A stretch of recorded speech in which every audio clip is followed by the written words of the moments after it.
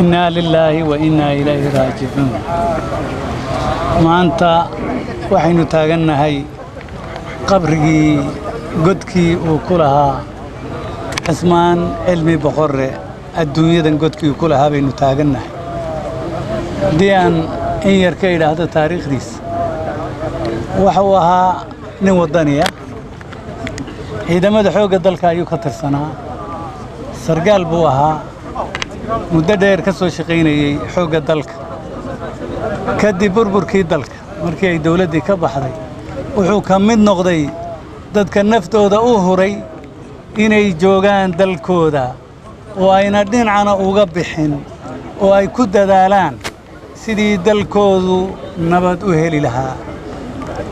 Wakhtigiisii oo dhanna siiyey sidii hadda guddoomiye ku-xigeenku sheegayay wuxuu ahaa xildhibaanadii ugu horreeyey ee carta laga soo dhisay labadii kun.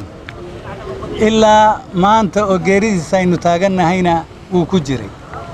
Waxaan is leeyahay wuxuu ku waayey wuxuu ku waayey oo la dilay sidaa isaga loo dilay laba kun iyo lixdii wiil uu dhalay ayaa la dilay.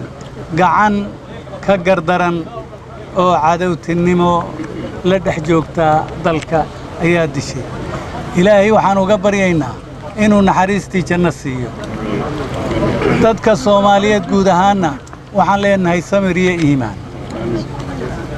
Golayaashii golihii uu ka baxayna waxaan leenahay samir iyo iimaan.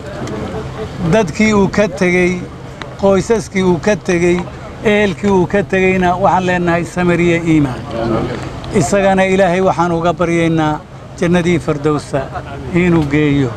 Insha allah waa taariikh waa taariikh. Waxaan is leeyahay wuxuu ku dhintay uu ka tegey taariikh fiican. Sababtoo ah waxa weeye waa qofka muddada intaa leeg ee dalkaa mushkiladuuni ka taagnayd u taagnaa xal sidii loo heli lahaa. Taariikh fiican buu ka tegey waxaan leeyahay ilaahay godkiisa janno ha u waasiciyo jannadii fardowna ha siiyo kulligeenna samir iyo iimaan. Haynaga siiyo